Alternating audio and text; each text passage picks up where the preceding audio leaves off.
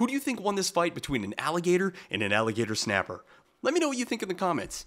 Uh, they could be just friends though.